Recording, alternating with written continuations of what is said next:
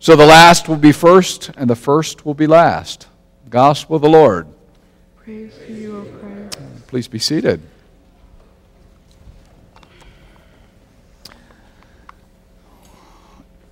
In our uh, house, we have a simple rule. Uh, if there's extra, for example, an extra slice of pizza or extra dessert, uh, and, and two people want it, it is uh, to be divided. But the key part is the second part of that rule is that if you are the one who cuts the thing in half, you do not get to choose your piece.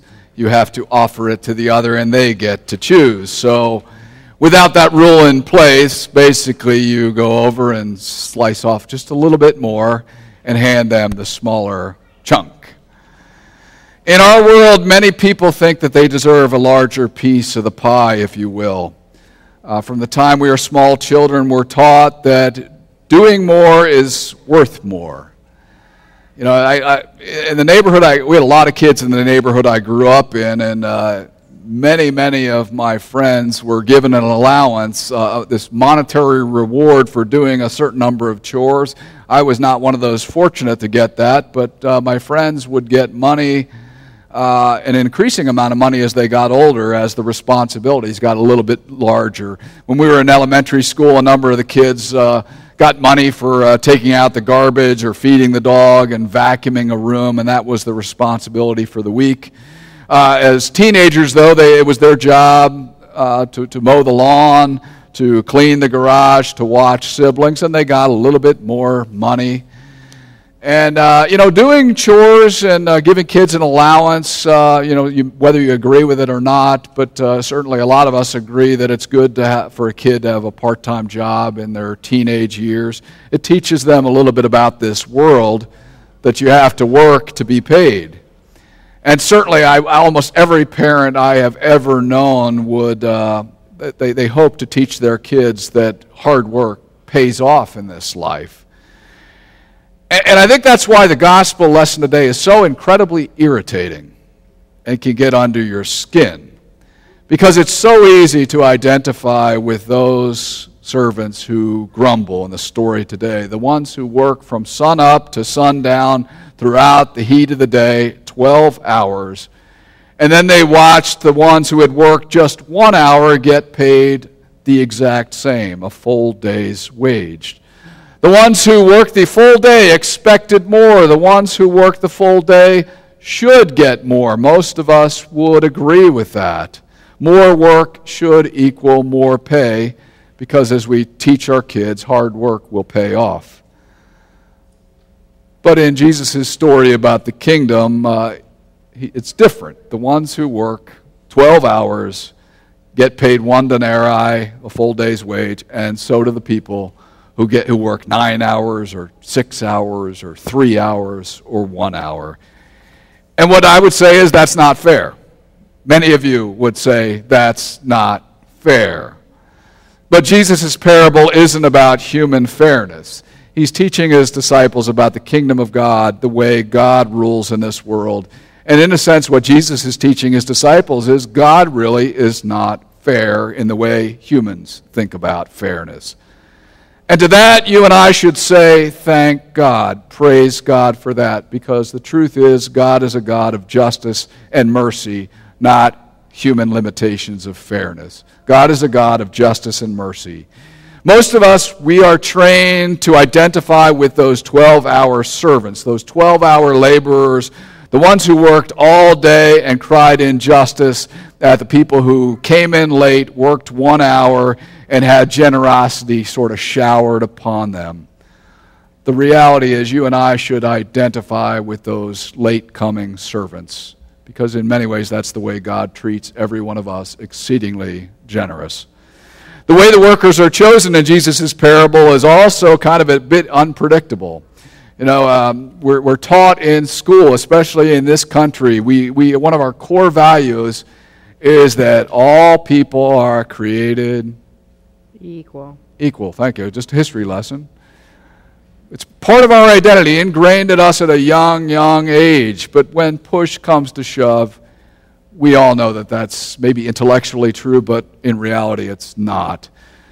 Because so many, some people are born into money and comfort and privilege. And I would be lying to you if I didn't acknowledge that that really is who I am. I was blessed with financial resources. I was blessed with a good home. My mom stayed at home. I was privileged in that sense. And I realized that far too many people in this world live in poverty or struggle to make ends meet. I realize I'm a person of privilege, and I know many of you are the same.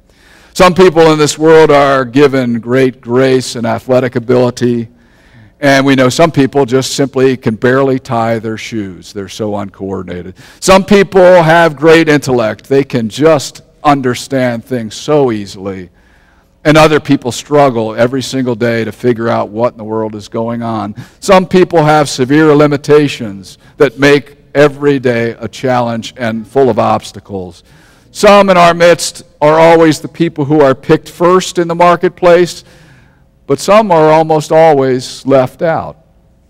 But the truth is, all of us at some point or another can identify with those late coming 5 p.m. arrivals because all of us at times will find ourselves in a spiritual 11th hour, a bit alone, feeling unloved, feeling unclaimed, at some point in our lives. As we gather here this day, we remember that we are always, always, throughout our life, dependent on the compassion and the generosity of God, who is always merciful to us. Mercy is not a weakness, mercy is actually a sign of exceptional strength. And it's a gift that God delights in sharing with us over and over and over again.